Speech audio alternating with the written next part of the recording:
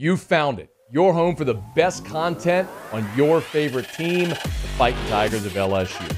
Do us a favor, subscribe to the channel, leave your comments below. Be sure, smash that like button.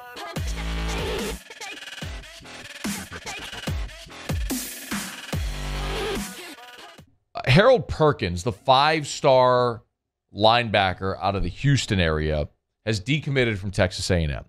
I made the announcement on his Twitter with a graphic, said this has been one of the hardest decisions to make, but I'll be decommitting from Texas A&M. Will announce my decision February 2nd at my school. So his school is is uh, in Cypress, Texas, which is a suburb of Houston. If you don't know uh, Harold Perkins' backstory, five star, number one linebacker in the country, a top 10 overall player at any position in the country. I believe in the 247 composite, he finished as the seventh overall player in the country. So you're talking about a huge prospect at a major position of need for LSU. And he's a guy that has significant Louisiana ties.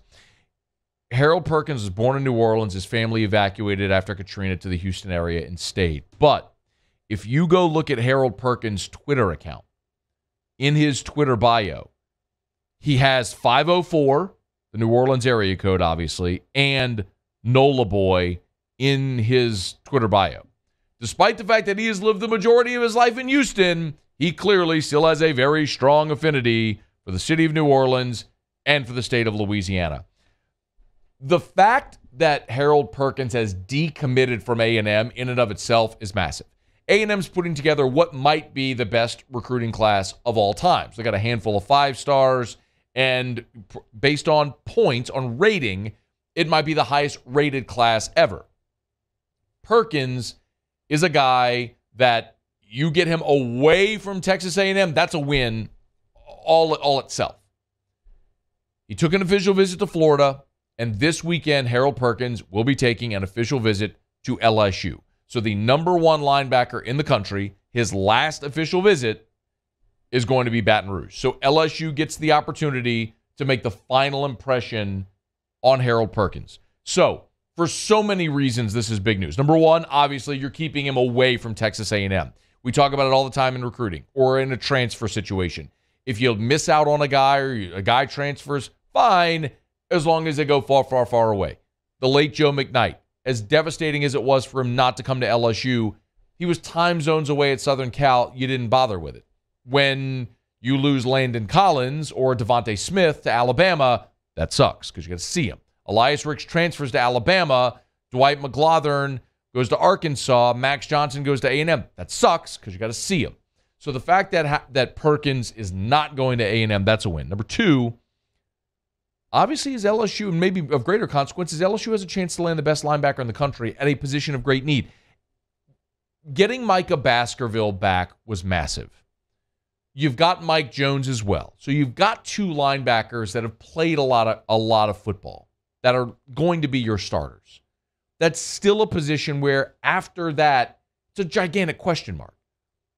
You you bring in West Weeks, the transfer from Virginia, who played a bit as a freshman this past year and you hope that he can be part of your rotation. We know that they're very high on Greg Penn, but another guy that hasn't played a ton of football. And after that, it's all guys that are question marks. If it's Josh White and Antoine Sampah and guys we've talked about a bunch, but we haven't seen them do it yet. So the opportunity for Harold Perkins as a five star, number one linebacker in the country, to come in and play immediately is there. And to be an impact guy for three years on your team is there. Mention the appeal of Louisiana, which is always a pull. I, am gonna. I, I have a feeling that I'm going to recite this for as long as Brian Kelly is the coach. The primary reason he left Notre Dame for LSU is the dirt. It's the dirt. Louisiana has an inherent built in advantage that only a couple of other schools in the country can claim. You are the only Power Five in a talent rich state. Dudes from this state, Will Campbell, Walker Howard, they want to play at LSU. And just wait and see if they don't get Jacoby Mathews as well from Ponchatoula. It would be totally naive to ignore the NIL component of this. Y'all, there is no program in the country that has benefited more from NIL rules than Texas A&M. This recruiting class they are putting together is in large part due to the fact that they have had more organization among their business community for NIL purposes than any other school. Don't think that LSU is getting in on Harold Perkins just because it's Louisiana. That might be the allure, but the way you get him to decommit from Texas A&M and seal the deal if they're able to push it across the finish line, you better believe there's NIL opportunities. I don't know if it's Gordon at the forefront of this. I don't know if there's others, but I've told you before. Jacoby Mathews is a five star at Ponchatoula who desperately wants to play in, in his home state.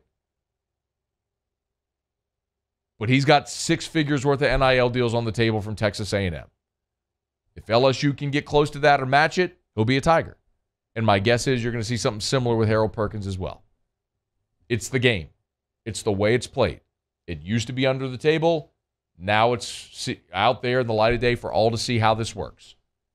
That's the system. Use it to your advantage. LSU's getting on that train. This would be massive, not only because of the player and the caliber of the player, but the position of need, and if you're able to swipe him away from your division rival who's putting the finishing touches on a pretty massive class. Huge if they're able to finish it. Harold Perkins will be on campus this weekend in Baton Rouge. Hey, thanks so much for watching. Please leave your comments. I love to interact. And be sure to hit the red subscribe button below.